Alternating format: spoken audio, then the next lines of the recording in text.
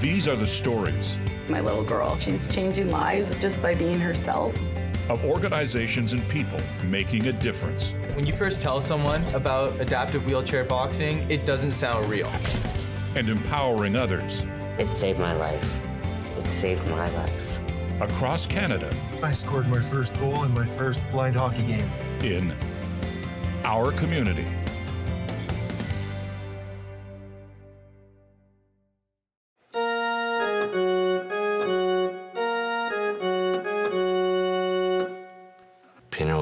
Likes me. Like I'm, I feel like I didn't choose a piano; it chose me.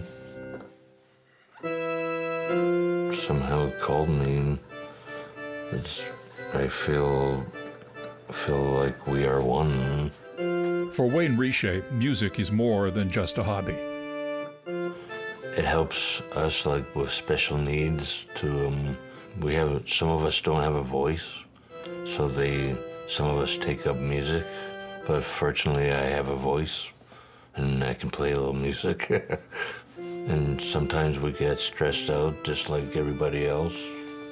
And music is a good, uh, positive way to, to get stress out.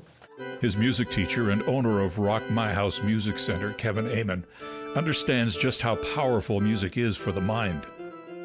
Music, especially playing music, activates both sides of the brain, which is rare for a lot of things, right?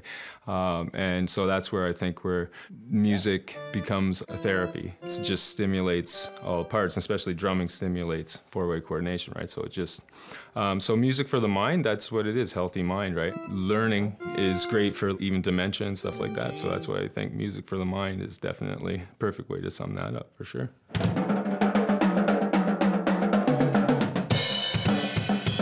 For Kevin, his love of music started at a young age.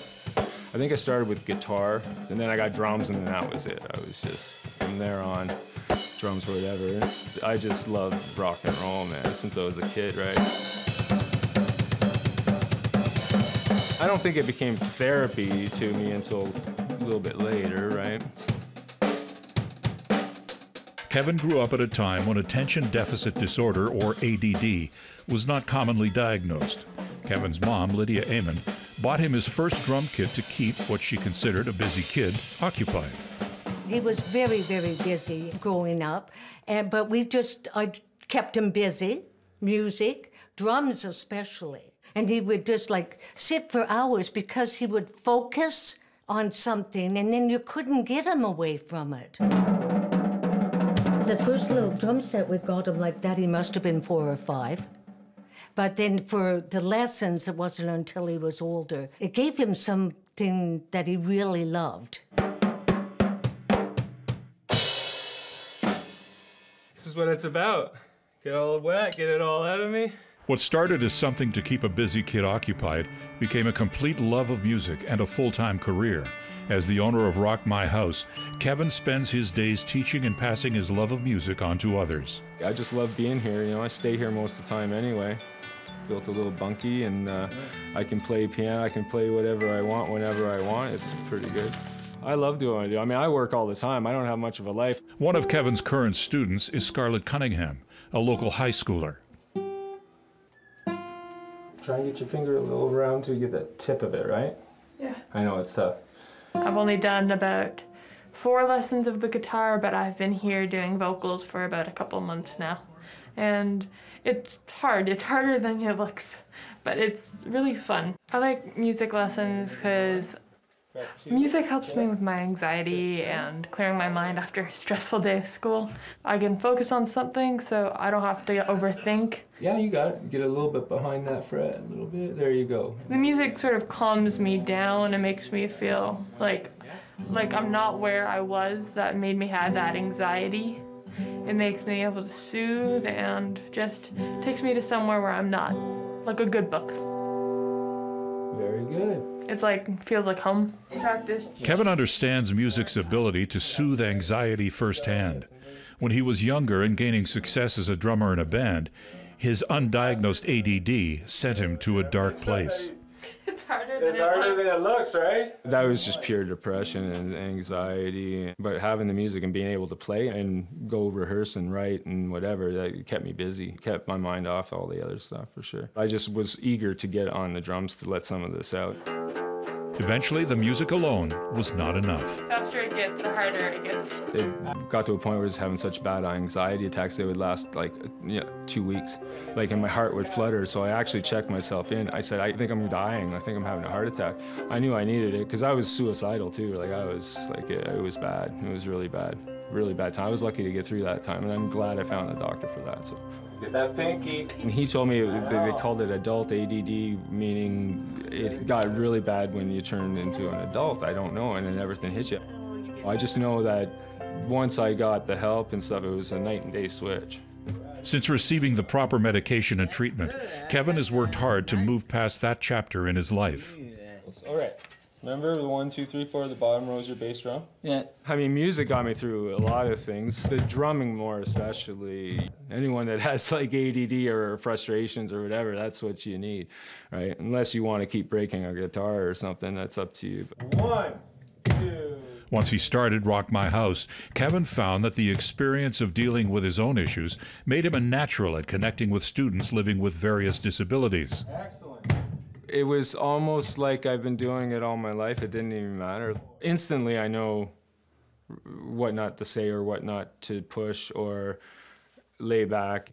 I stress to them, you know, go home, make sure you practice a little bit because you'll enjoy it. You know, it, it'll it'll help you. You know, and I kind of put the, that in their ear. One, two, three, four. And teaching is in his blood. My mom was a teacher, right? Grade one teacher, right? So like I grew up in the classrooms with her. I was like just a kid myself, but I was always helping out. So I've and it's got to be just part of the thing is being able to relate. His mother, Lydia, agrees that Kevin's difficulties with ADD in the past make him a better teacher now. It must have been really difficult for him to have learned what he has learned. If you have something that um, you find difficult and you see that in another person, then you're able to help that person so much more because you sort of have gone through it already. You're doing good. Thank you. I appreciate you're better and better every week. I'm so proud of him.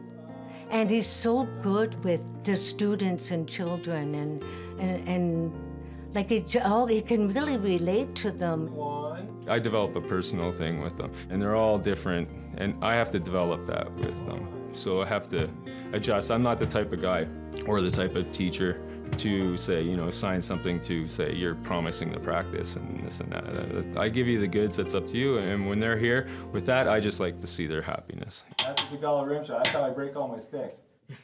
Hey, you make a joke. For Jason Termaine, the drums bring him a great deal of enjoyment. Drumming is one of the things I really enjoy, so it makes me really happy. Yay! Yay, the drum beats.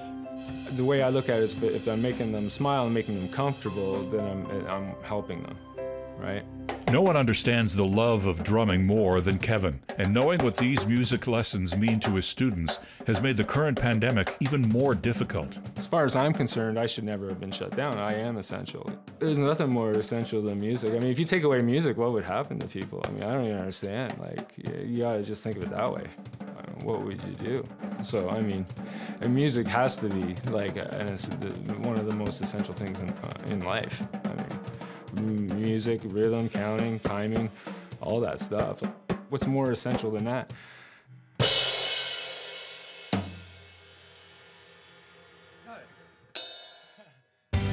Our community will return after the break.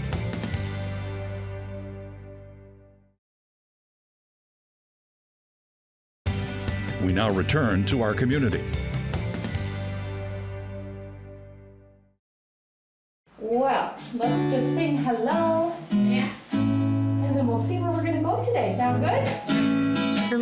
For me, music for the mind um, means music that is personal to an individual. Certified music therapist Courtney Radborn has made a career out of her belief that music is an essential part of life. It would be that it has like a positive impact. and not necessarily just on the mind, but perhaps because music comes in through the ear into the mind is the first gateway to the body of it accessing the rest of us. If it's something that's important and meaningful to us, then you start to see other things happening within within the body. Where shall we begin today? Uh, Johnny Cash. Johnny Cash. All right. Today, she's bringing the healing power of music to clients living with disabilities in a long term care facility. Her first session of the day is with Roger Tessier. Ring up fire. Roger loves to sing, um, and he loves to come up with little songs himself. It could be on how he's feeling that day or just random sounds.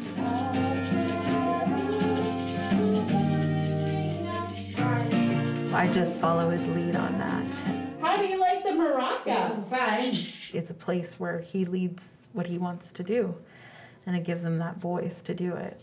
What may look like the simple act of singing actually affects multiple systems in the human body.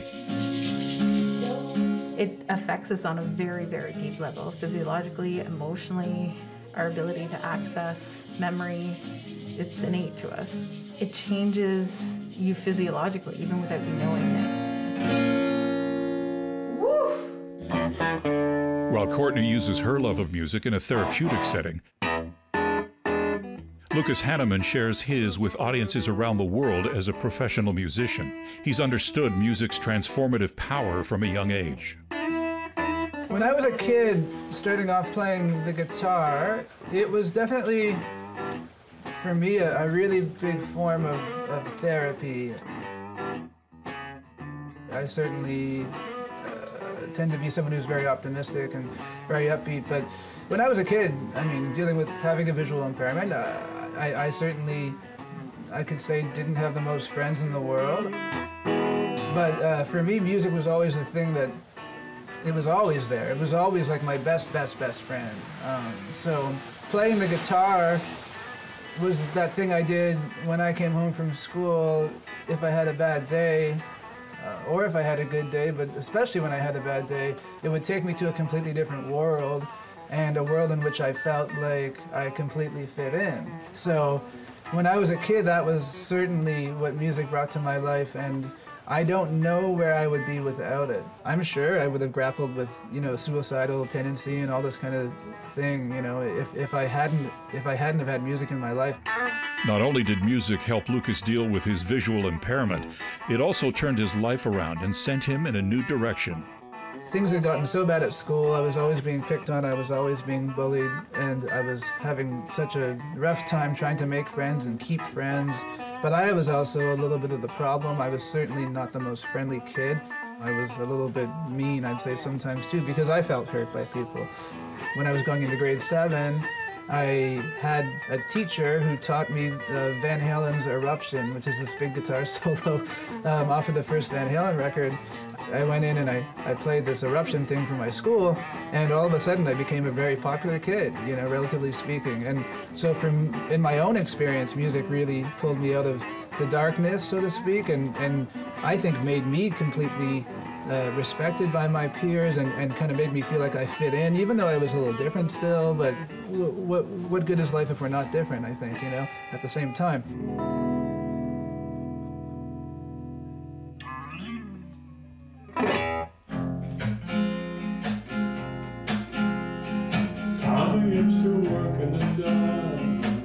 The ability to share music with others is an important part of Courtney's work as well. Her client, Daniel Larrabee, has been able to take skills learned in music therapy out into his everyday life. A misconception that a lot of people have is that you have to have musical training to engage in music therapy, which is not the case at all. You need not have any any ability, any training, any knowledge about anything musical. That's where we come in.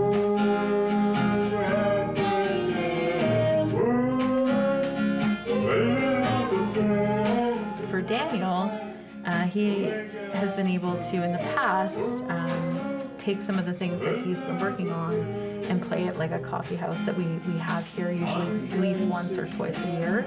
He really enjoys being able to share that with other people.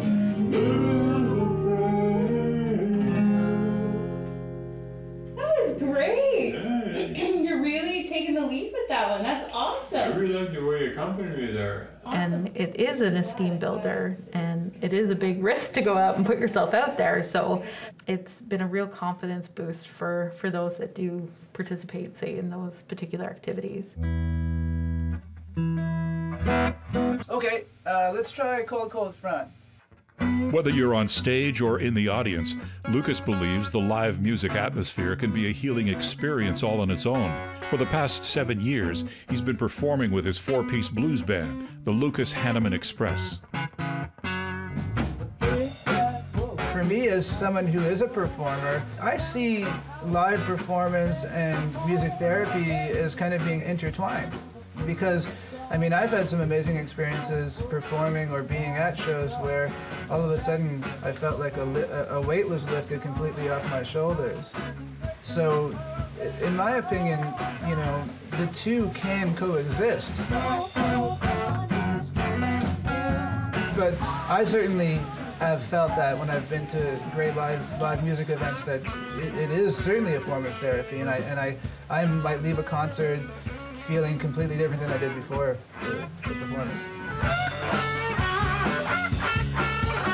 I always feel like if ever I get frustrated or if ever I'm dealing with the unpredictability of this thing we call the music industry, um, then certainly, you know, the music is that thing, that place where I go. A cold, cold front is coming. I think we're getting somewhere with that, guys. Feels good. Twinkle Twinkle Little Star on piano by Carrie.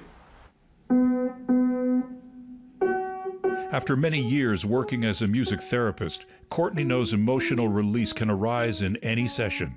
There's a big emotional component um, to the work that we do, and that's why we try to do it as safely and uh, ethically as we you can, and that's why we're trained to be able to handle different situations because music is very powerful for people. Music is also powerful too in that it can evoke emotions but make it safe to express those emotions um, because you don't have to be like today i'm feeling this because of this it could be that we're writing a song and we're we're using other ways to communicate instead of having to just bare your soul to somebody like traditional talk therapy right? Providing clients like mm-hmm. Gary mm-hmm. McNabb with different ways to communicate is a central part of Courtney's work. looking at the long term again with a lot of my clients communication the ability to find their voice and that's why my company the healing song the slogan is a voice for everyone. And i think that's what we strive to do as, as music therapists. So a lot of people may be nonverbal. And the wonderful thing about music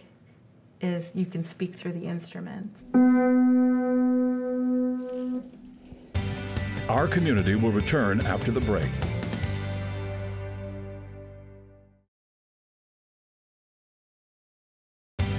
We now return to our community. Hey everybody, my name is Lucas Hanneman, and this is Megan Lawrence. Over the past few years, Lucas and his wife Megan have started performing together in a duet. Their shared musical abilities have helped them weather some of life's toughest storms.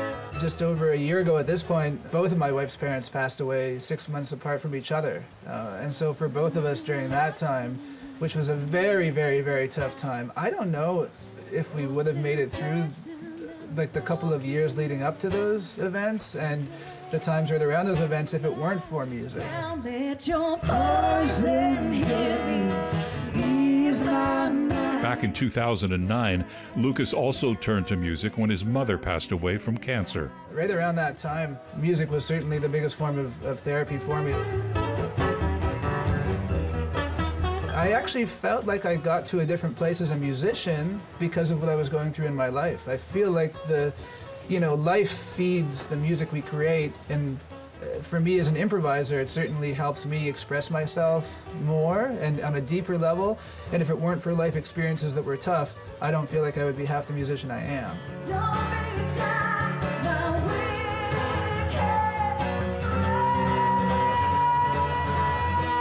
So for me, dealing with really tough situations has certainly been like they have been aided by music. In the end, Lucas believes it's music's ability to make us feel a range of emotions that makes it so powerful. Music should make us feel everything from anger to sadness to happiness to sheer joy, whatever it is. Just think about the music that makes you feel complete, that helps you heal. While these last few months have not been good, but I must be hopeful. I know I should. The most amazing thing about music is there is always music to fit a certain mood. Sometimes lifting yourself out of that state can be what you need to do by listening to something positive or sometimes dwelling.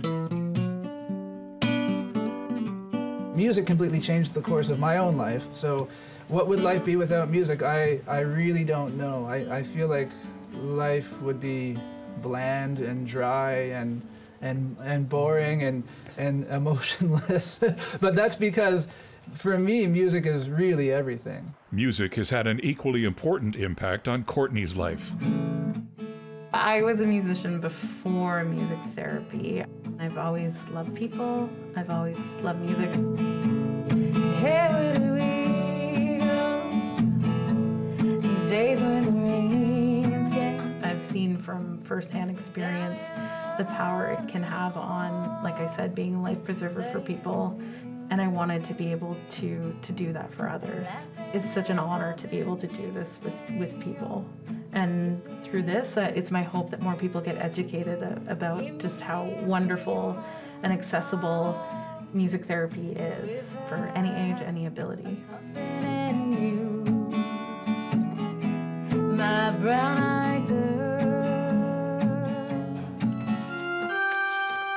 start with middle C. Back at Rock My House, Wayne Richet's keyboard lessons represent the achievement of a lifelong dream.